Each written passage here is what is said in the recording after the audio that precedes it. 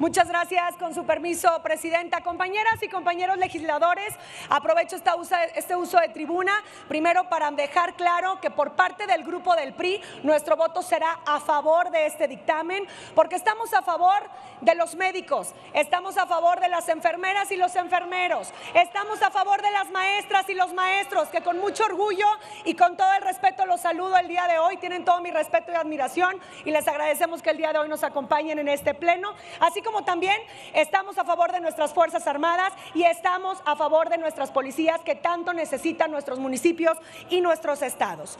Compañeras y compañeros legisladores, que no se nos olvide que desde el 2012 se abrió esta puerta para poder recibir los apoyos que todos nuestros trabajadores necesitaban. Y estamos hablando, como bien lo mencionaba hace un momento, en tema de seguridad, también en el tema de educación, así como en materia de salud.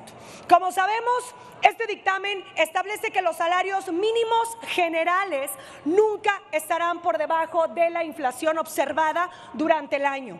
Sin lugar a dudas, este será un gran estímulo para nuestras maestras y para nuestros maestros de nivel básico que trabajan de tiempo completo, así como para nuestros policías, para los integrantes de las Fuerzas Armadas, para nuestros policías también, como mencionábamos, estatales y municipales, porque definitivamente en su día permanente, en el día a día, ellos brindan seguridad y sobre todo dan sus vidas por nosotros también.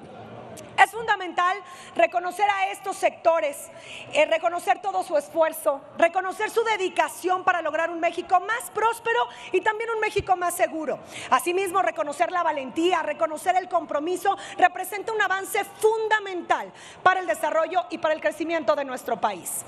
Para dimensionar la magnitud de esta situación, la Organización Internacional del Trabajo promueve por salario mínimo que debe ser digno, que debe ser competitivo y México no puede ser la excepción.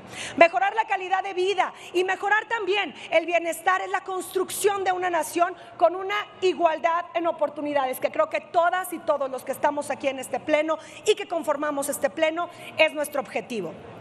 Lo digo claro, en el PRI no descansaremos para que tú y para que a tu familia estén bien, para que a ti y a tu familia les vaya bien, mejorando en todo momento bienestar, protección, pero sobre todo la prosperidad de las familias mexicanas.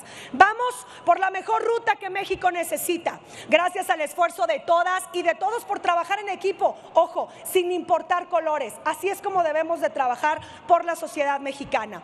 Mantener salarios equilibrados ayuda a que los trabajadores del sector de salud, del sector de educación y también de seguridad cuenten con esas herramientas necesarias para poder realizar sus actividades diarias con eficiencia y también con efectividad.